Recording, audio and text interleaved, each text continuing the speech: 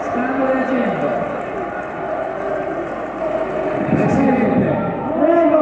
Stanno, stanno. Attenzione però sale anche dentro il palazzo. Alla Camera si discute di finanziamento alle comunità giovanili. Ce l'auguriamo, speriamo che sia la grossa coalizione. Onorevoli colleghi, che cosa sta capitando? Noi siamo ancora in attesa di sapere quali sarebbero i nuovi strumenti, le nuove procedure. Stiamo protestando. Gracias.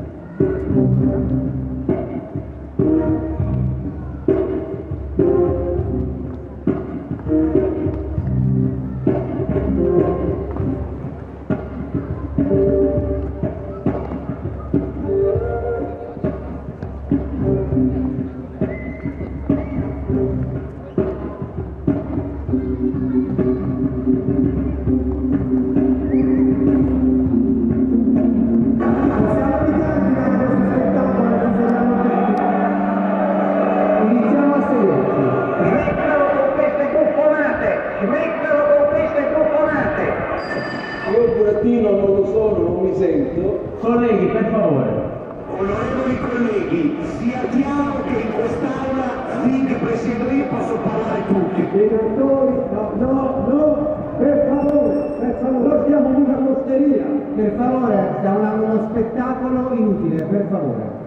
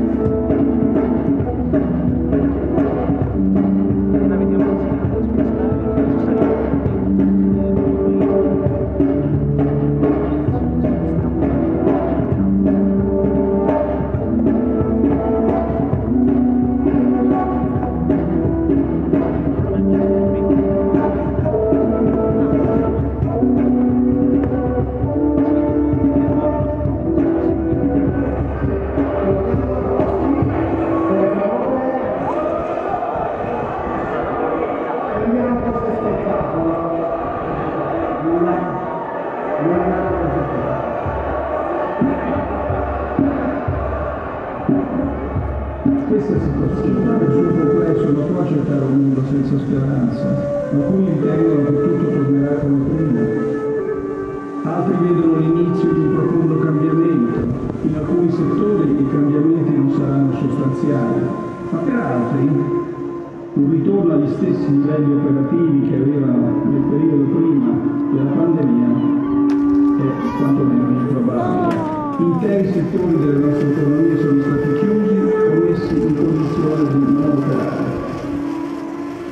L'aumento drammatico nel numero delle persone private del lavoro, la chiusura delle scuole e di altri modi di apprendimento hanno interrotto percorsi professionali ed educativi, hanno approfondito le disuguaglianze. In sostanza tutto ciò è profondamente destabilizzato. Vi è però un settore essenziale per la crescita, l'istruzione e più in generale l'investimento nei giovani. La partecipazione alla società del futuro richiederà ai giovani di oggi ancora più grandi capacità di discernimento e di adattamento. Il debito creato con la pandemia è senza precedenti e dovrà essere ripagato principalmente da coloro che sono oggi giovani. È nostro dovere far sì che abbia tutti gli strumenti per farlo. Privare un giovane del futuro è una delle forme più gravi di diseguaglianza. Grazie.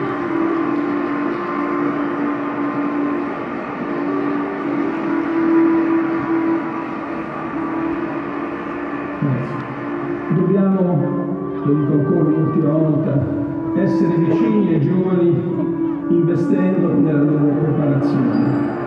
La seduta è sospesa.